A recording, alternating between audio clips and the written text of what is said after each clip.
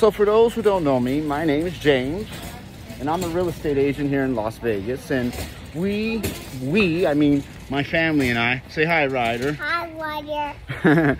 we go around to Costco, find some good steals, some good buys, and point out some secrets others may not have known. We go try out some really good restaurants in Vegas, and essentially show you guys what it's like to live in Vegas as a family. And um, if you like what you see, and or you're just moving out to Vegas and you want an experienced real estate agent on an awesome team, because when you have a real estate agent, their team is their family. So, say you hire a real estate agent and you're unsure, you've never met him, you hired him just now, or you found him on Zillow, however the case may go.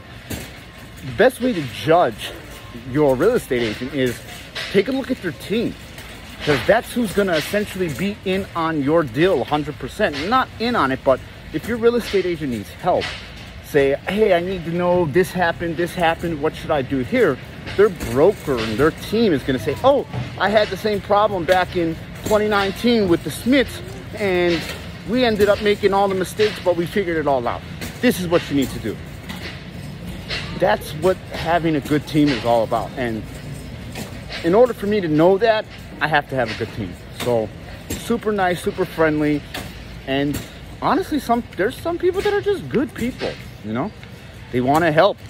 They go on to different platforms and teach and take time out of their day and give advice and and point people in the right direction just because they're not getting paid for it they're not getting attention from it and this is what my team leader does this is what my group does they uh they love expanding. So if people want to join, that's great.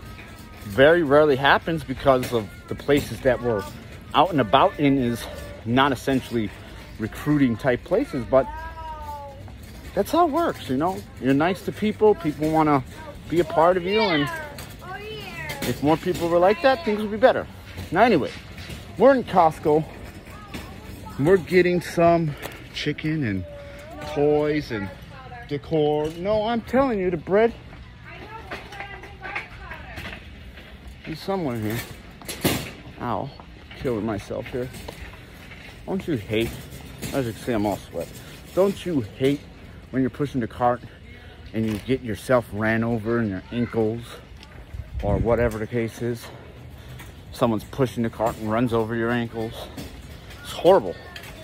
Garlic powder.